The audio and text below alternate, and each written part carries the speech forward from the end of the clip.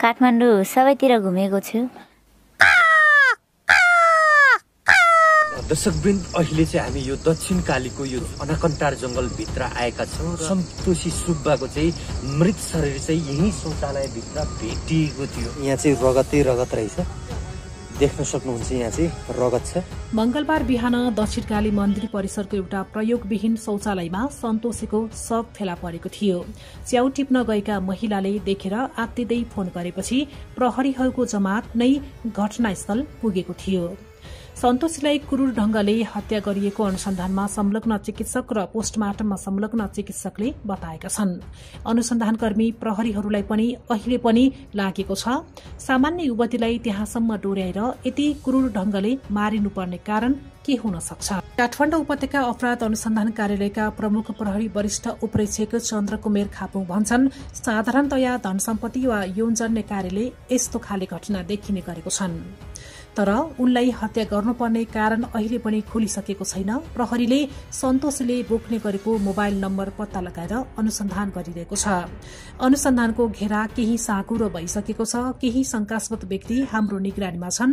अपराध अनुसन्धान महाशाखाका प्रहरी उपरीक्षक कृष्ण पंगिनीले भने हत्या योजनाबद्ध नै देखिन्छ।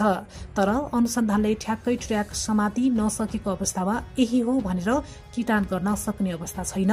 चाँडै नै निचोटमा पुग्छौं। अनुसन्धान अधिकृतका अनुसार उनी असर पाँच गते फर्पिङ स्थित पद्म सम्भव गेस्ट हाउसमा एक्लै बसेको देखिएको छ। त्यस दिन उनले बुवा धनबहादुरलाई फोन गरी छ गते घर आउँछु भनेकी थिइन्। धनबहादुरले पनि यो कुरा बताइसकेका छन्। फर्पिङबाट दक्षिणकालीसम्म एक्लै गएको देखिएको छ एक अनुसन्धान अधिकृतले भनेका छन्। त्रिविशेश्वर अस्पतालको फरेन्सिक टोलीले सन्तोषीको पोस्टमार्टम सकिएको जनाएको छ। सन्तोषीको भजाइनल स्वाब संकलन गरिएको छ।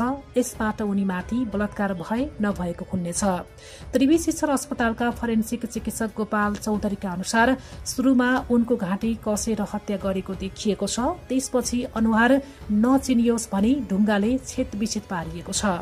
उनको दाहिने छातीतर्फका दुईवटा करङ भाँचिएका छन्। पेटमा बेसरी हिर्काएकाले आन्द्रा पनि सुन्निएका छन्। उनको मृत शरीरमा टुपेस लुगा थियो। उनको भित्री वस्त्र पेन्टी घटनास्थलबाट केही टाढा फालिएको थियो। घटनास्थलमा छोरा मान्छेले लगाउने पेन्टी फेला परेको थियो। बजाइनल स्वाप निकाल्दा यौनाङ्गमा निलो डाम देखिएको छ। बाँकी त्यसको रिपोर्ट आएपछि थाहा हुन्छ चौधरीले भनेका छन्। घटनास्थलमा पुगेका चौधरीले मासुबाट छुट्टिएर फेला परेको दाँतको हड्डी हेरेका थिए। उनले त्यति बेलै भनेका थिए मृतकका केही दाँत पहिलेदेखि नै थिएनन्। सन्तोषीका केही दाँत कसरी थिएनन् भन्ने कुरा उनका धर्मपिता धनबहादुरले पनि खुलाइसकेका छन्। काठमाडौँ साथ कालोफुल स्थित गुरूङ बस्तीमा बस्ने धनबहादुर तामाङले सन्तोषी सुब्बालाई अठार वर्ष अघि चाबहिलमा भेटेका थिए। धनबहादुर साइकलमा चप्पल बेच्थे त्यही सिलसिलामा सन्तोषीलाई लुखरे लुखरे डुलिरहेको भेटाउँथे। धनबहादुरको नजिक आइरहन्थिन् उनी बेबारिसी थिइन्। धनबहादुर जति चाबहिल जान्थे त्यति पटक उनलाई भेट्थे त्यति बेला उनी जम्मा नौ वर्षकी हुँ भन्थिन् घर कहाँ हो? बुवा आमा को हुन्? उनी भन्न सक्दिन थिइन्। यति भन्थिन् नाम सन्तोषी सुब्बा। अलि एकहोरो खालकी थिइन्। धनबहादुरले भने बुवाले बुवाले सौतेनी आमा ल्याएपछि आफू हिँडेको उनले बताउँथिन्। काभ्रेका धनबहादुर तेत्तीस वर्षदेखि काठमाडौँमा छन्। रोजगारीको सिलसिलामा काठमाडौँमा आएर गुरूङ बस्ती पसेका धनबहादुरलाई सन्तोषीको त्यो अवस्था देखेर माया लाग्यो। धनबहादुर आफैको सहारा कोही पनि थिएन। श्रीमतीले छोडेपछि उनी एक्लै बनेका थिए।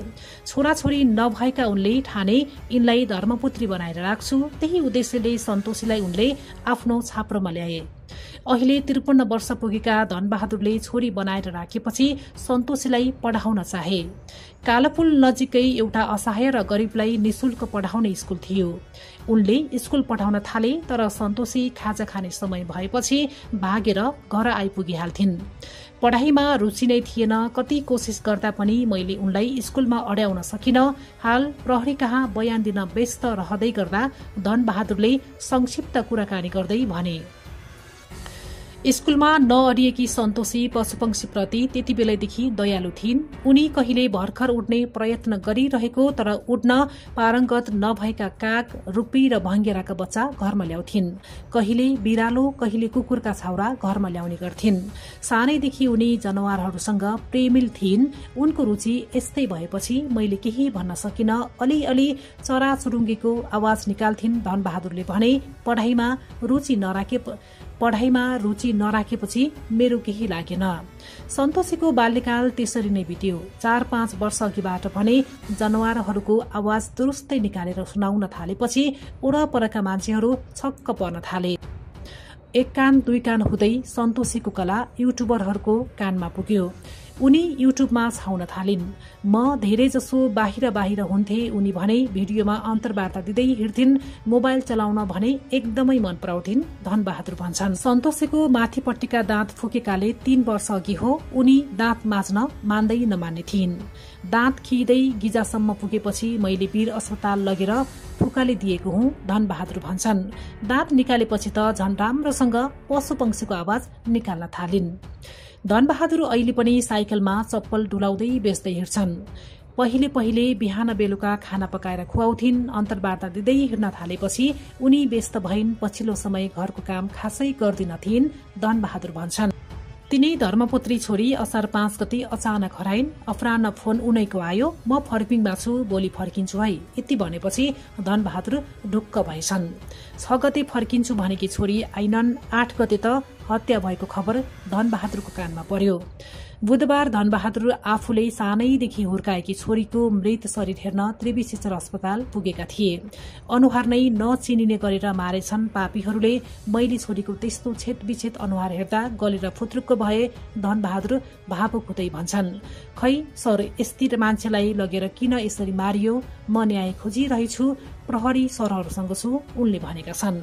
बिहान सबेरैदेखि चप्पल डुलाएर हिँड्ने धनबहादुरले पनि सन्तोषीको बारेमा विस्तृत ख्याल राख्न छाडेका रहेछन्। कहाँ कसरी जान्थिन् म बाहिरै बाहिर भए थाहा धेरै पाइन धनबहादुर भन्छन्। पछिल्लो फोन वार्तामा पनि सन्तोषीले आफू फर्पिङसम्म पुग्नको कारण उल्लेख गरिनन् मात्र भोलि आउँछु भनेकी थिइन्। उनी कसरी त्यहाँ पुगिन् मैले केही सोध्न पनि पाइन बुझ्न पनि पाइन धनबहादुर भन्छन्। सन्तोषी सुब्बाको बारेमा लेखिएको यो लेख हामीले सेतो पार्टीबाट लिएका हौं।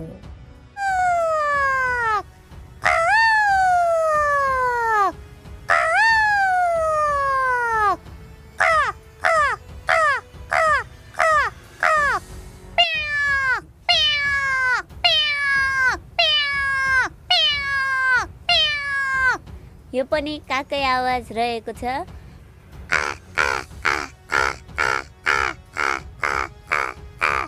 यो चाहिँ बुढो खालको काको आवाज रहेको छ।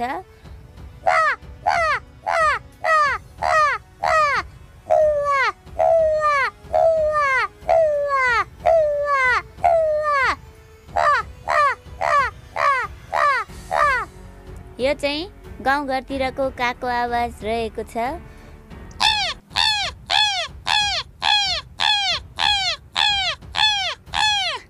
यो चाहिँ बच्चा खालको काको आवाज रहेको छ। अब कुखुराको आवाज निकाल्न गइरहेको छु। आठ नौ किसिमको